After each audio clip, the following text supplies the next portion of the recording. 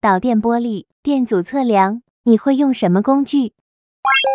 普遍认为，万用表也可以测量导电玻璃阻值。我们先拿出一片阻值是七到十欧，尺寸是五十乘五十乘一点一毫米的 ITO 导电玻璃。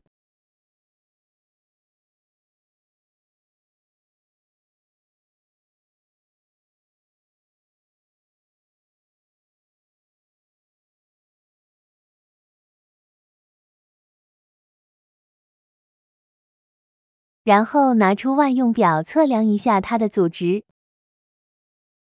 选择欧姆档，测量最终数据为十五，实际上阻值是七到十欧。万用表测量是不准确的，方阻仪才是测量导电玻璃阻值的工具。我们用刚刚那片 ITO 玻璃，用方阻仪测出来的阻值是。八点四欧，在七到十欧范围内。然而，同一片玻璃阻值都是一样的吗？我们还用刚刚那片 ITO 导电玻璃，把它用切割器切成八乘五十毫米的尺寸。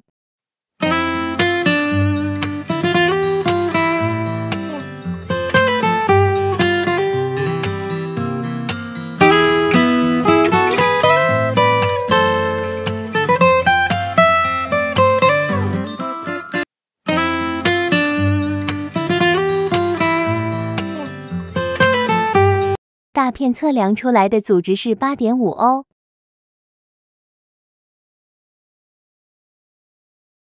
小片测量出来的阻值是十三点四欧。